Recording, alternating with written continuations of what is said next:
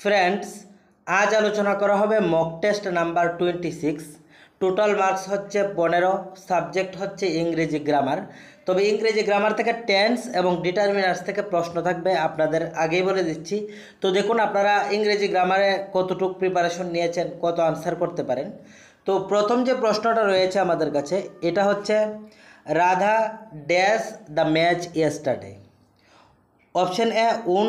তারপর, win. Has উন নান of the above তো এখানে দেখুন, আমাদের কাছে একটা কিওয়ার্ড রয়েছে ইয়েস্টারডে কী আছে ইয়েস্টারডে তো যারা আমার টেন্সের ক্লাস দেখেছেন, আপনারা দেখবেন যে আমি বলেছিলাম ইয়েস্টারডে হ্যাঁ? ইয়েস্টারডে তারপর রয়েছে এগো এই ধরনের কোনো ওয়ার্ড হ্যাঁ? যদি তাকে যেগুলোকে আমরা কিওয়ার্ড বলি, এগুলো হচ্ছে এই প্রেজেন্ট সরি পাস্ট ইনডিফিনিট টেন্সের কিওয়ার্ড তাহলে দেখুন যেহেতু এগুলি পাস্ট ইনডিফিনিট টেন্সের কিওয়ার্ড তাহলে কি হবে এগুলি? আমাদের ভার্ব নাম্বার টু ইউজ করতে হবে। রাজা যেহেতু সাবজেক্ট তো তারপর হচ্ছে ভার্ব নাম্বার টু তো verb number two win, won, ঠিক আছে? তাহলে কি হবে? উন হবে। উন হচ্ছে ভার্ব নাম্বার টু তার জন্য অপশন এ হবে আনসার রাধা উন উন দ্য ম্যাচ ইয়েস্টারডে গতকাল রাধা ম্যাচটা জিতেছিল। তারপর দেখুন, আমাদের কাছে কি রয়েছে? The train dash before I reach the station তো এখানে কি রয়েছে? এখানে রয়েছে বিফোর তো আপনাদেরকে বিফোর আফটারের রোলস করিয়েছিলাম টেন্সের মধ্যে। যদি আমাদের কাছে বিফোর থাকে, কি থাকে বলুন তো? আমাদের কাছে বিফোর থাকে।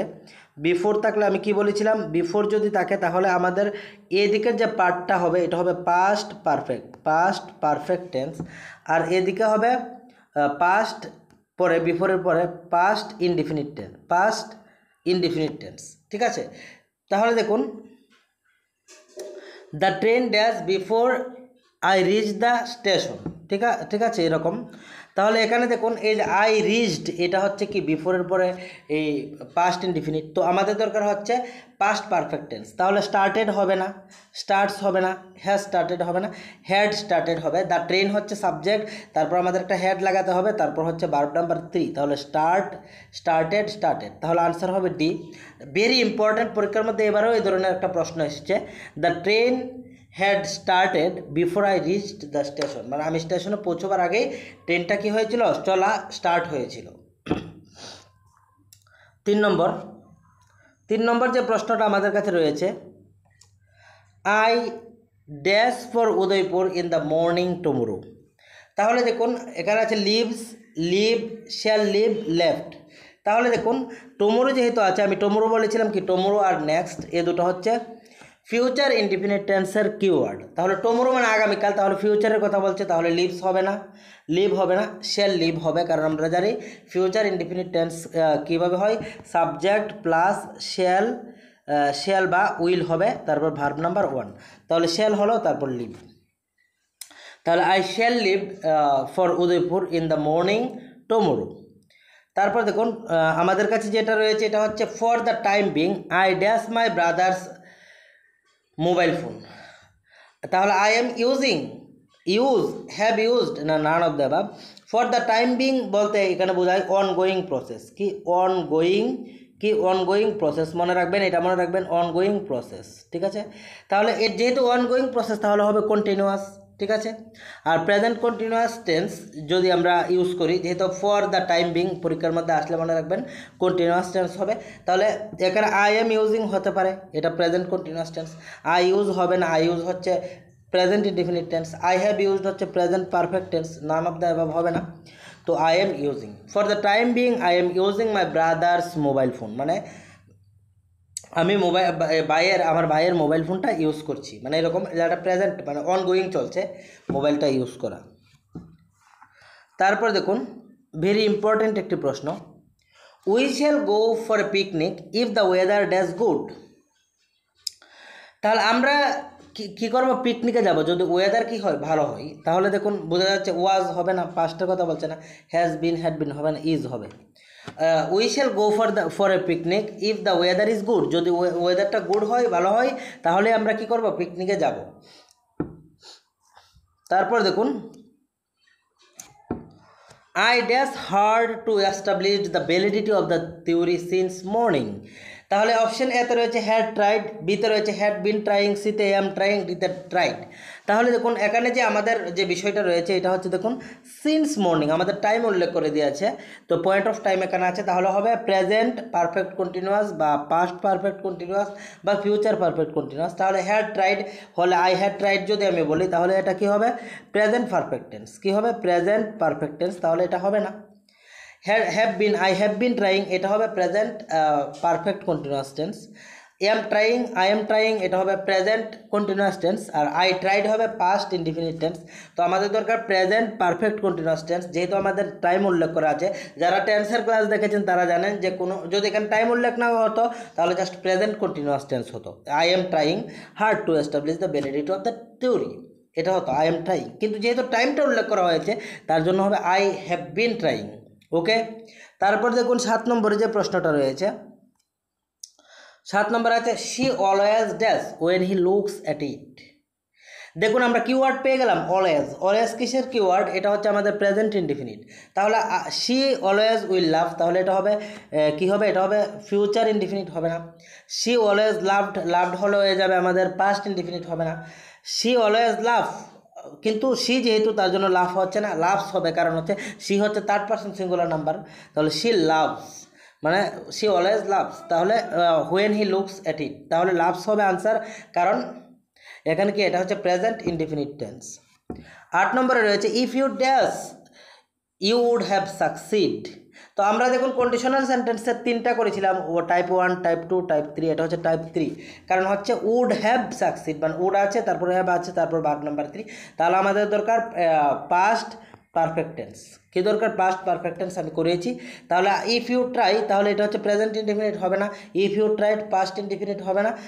ইফ ইউ হ্যাড ট্রাইড এটা হবে present perfect tense if you will try এটা হচ্ছে এই present indefinite sorry future indefinite হবে না।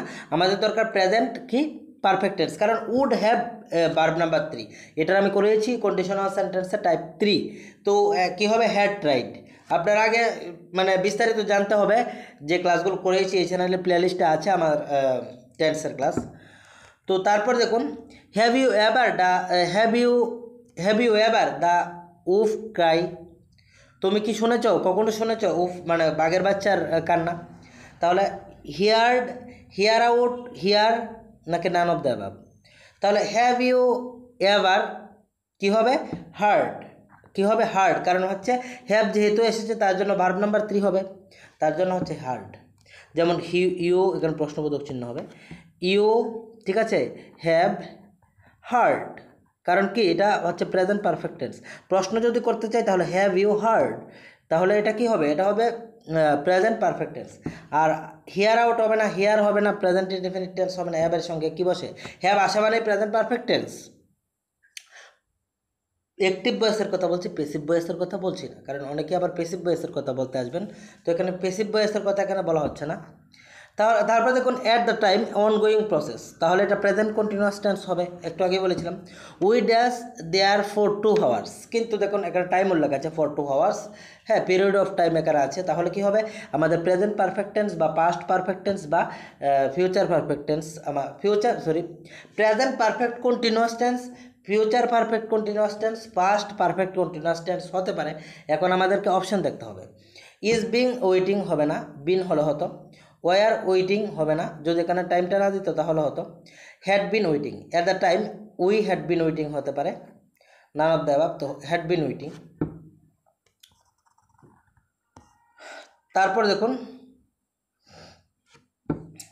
Very dash children participate just because of unfair result বলা হচ্ছে চিলড্রেন ভেরি ফিউ চিলড্রেন ঠিক আছে? সরি আনসারটা বলে দিলাম। Very dash children very much children হবে না। মাছ আনকাউন্টেবল নাউনের ক্ষেত্রে আসে, তো এটা হচ্ছে কাউন্টেবল নাউন তো দেখুন লিটল আসবে না আনকাউন্টেবল নাউনের ক্ষেত্রে আসে। এখন ফিউ আছে মেনি আছে।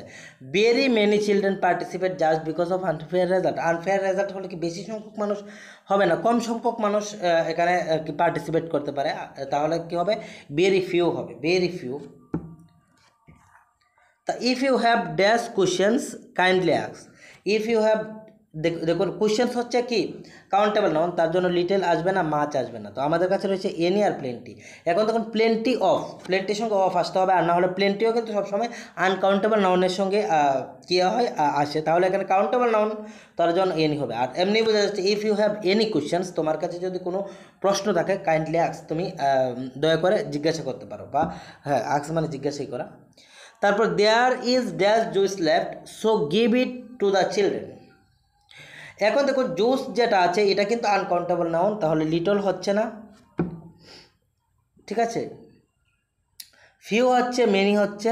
না আনকাউন্টেবল নাউন তাহলে এখানে দেখুন, এটা কি আনকাউন্টেবল নাউন সরি তাহলে ফিউ হচ্ছে না ফিউ হচ্ছে না মেনি হচ্ছে না মেনি হচ্ছে কাউন্টেবল নাউনের জন্য। তাহলে কি হবে? There is a little juice so give it to the children মানে এখানে মানে আছে একদম কম পরিমাণে আছে, তার জন্য যদি না থাকতো, তাহলে তো দিতে পারতো না স্টুডেন্টদের যেহেতু স্টুডেন্টদের দিতে পারবে বা চিলড্রেনদের ছাত্রছাত্রীদের, তাহলে কিছু পরিমাণে আছে এ লিটল জুস ওকে কারণ এটা হচ্ছে আনকাউন্টেবল নাউন আমি বলেছিলাম যে মনে রাখবেন ফিউ এবং লিটলের ব্যাপারটা বলে দিচ্ছি। ফিউ এবং লিটল ফিউ হচ্ছে কাউন্টেবল নাউন আর লিটল হচ্ছে আনকাউন্টেবল নাউন কিন্তু ফিউ হচ্ছে একদম একদম নায়ের বরাবর মানে একদম নায়ের বরাবর একদম। আর মানে কাউন্টেবল নাউনের ক্ষেত্রে আনকাউন্টেবল নাউনের ক্ষেত্রে লিটল হচ্ছে নায়ের বরাবর। তারপর রয়েছে এ ফিউ মানে কিছু পরিমাণ আছে, অল্প পরিমাণ। আর এ লিটল হচ্ছে অল্প পরিমাণ আছে, কিন্তু ফিউ হলে কাউন্টেবল নাউনের ক্ষেত্রে যাবে, এ ফিউ এ লিটল হলে আনকাউন্টেবল নাউনের ক্ষেত্রে যাবে। যদি বলা হয় দা ফিউ মানে যতটুকু আছে ততটুকুর কথা বোঝানো হচ্ছে। কিন্তু মনে রাখবেন যে আপনারা, এটা হচ্ছে কাউন্টেবল নাউনের ক্ষেত্রে আর দা ফিউ হচ্ছে আনকাউন্টেবল নাউনের ক্ষেত্রে, কিন্তু যতটুকু আছে ততটুকুই বোঝানো হচ্ছে। তারপর দেখুন আমাদের কাছে যেটা রয়েছে there were dash people in the theatre so we are we were not feeling alone তো দেখুন, এখানে কী বলা হচ্ছে দেখুন পিপল হচ্ছে কাউন্টেবল নাউন লিটল হবে না এ লিটল হবে না ফিউ এবং এ থেকে হতে পারে। তাহলে এখানে দেখুন there were dash people in the theatre এখানে বলা হচ্ছে তারপর বলা হচ্ছে we are we were not feeling alone আমরা একাকী বোধ করছি না। তাহলে একাকী বোধ কখন করব না? যখন কিছু মানুষ থাকবে, কিছু পিপল থিয়েটারের মধ্যে থাকবে, তাহলে কিছু পিপল এখানে দেখুন ফিউ হচ্ছে না এর বরাবর। তাহলে এটা হচ্ছে না। কি হবে? এ ফিউ মানে কিছু পরিমাণ আছে, তার জন্য এ ফিউ হয়েছে।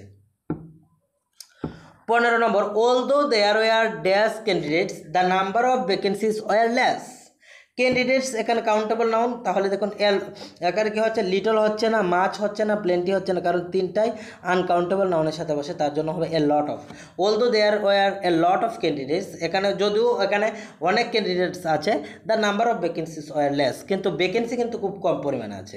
তো এটাই বোঝানো হচ্ছে। তো দেখুন, আমরা পনেরোটা এমসিকিউ নিয়ে আলোচনা করলাম, আপনারা কতটুকু আনসার করতে পেরেছেন। সো আপনারা আশা করি ক্লাসগুলো আপনাদের ভালো লাগছে, ভালো লেগে থাকলে লাইক শেয়ার এবং চ্যানেলটিকে সাবস্ক্রাইব করবেন।